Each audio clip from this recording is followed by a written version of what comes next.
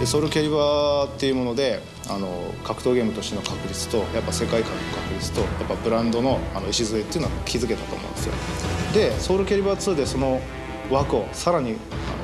般層までバーッと広げるようなフックとなるそのゲストキャラクターとかいたのでこれはもうそのこの層に対して次はもっと可能性の広がるようなものを提示しようっていうふうに考えたところで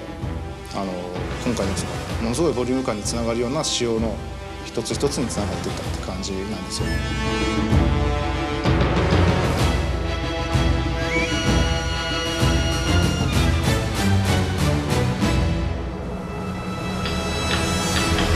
未だかつてこんな優秀なスタッフが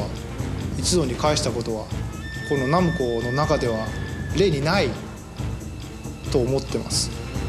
でこんなスタッフと一緒に私仕事できて本当に幸せと思っていますでそれで出来上がるものってすんごいものだろうなというのが今出来上がってる最中のものを見てもうすでに実感できてるので早くこれをお客様に届けたいと。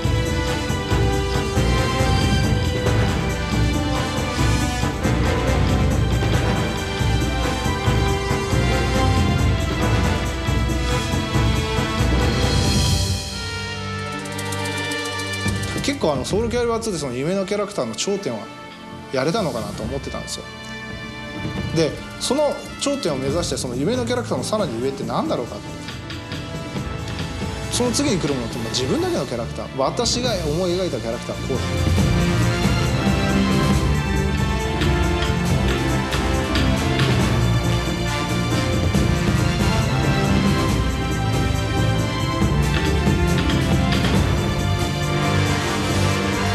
今回製品を全てこう統括することといえばもうこの1本で十分満足できるその空前絶後のボリューム感まあおそらくユーザーさんの期待を裏切らないものを提供することでやっぱソウルキャリバーこうだよねっていうふうな遊びがこの次の3でも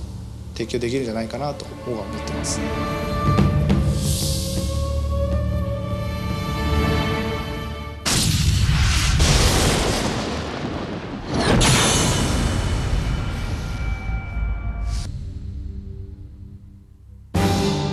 今回新キャラクターなんですけれども、えー、と大きな輪っか状のですね、まあ、武器を、まあ、自在に操る、まあ、ティラノ漫画さんに仕込んだ刀をですね使う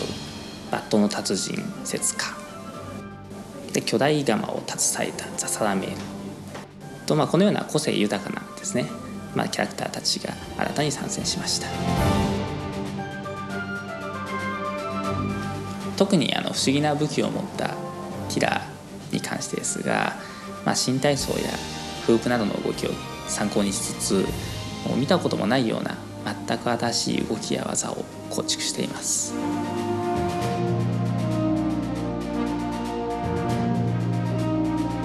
節かザサラメールに関しましてもいろいろな工夫や、まあ、新しいアイデアなどを盛り込んでおりまして非常に完成度の高いキャラクターに仕上がっています。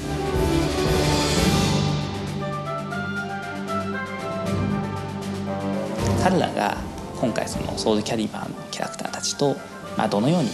関わっていくのかそういった部分に関しましても、まあ、今回の見どころの一つではないかと考えています。そしてまあぜひ皆様実際に触って遊んでいただきまして、まあ、その面白さを体験していただければと思います。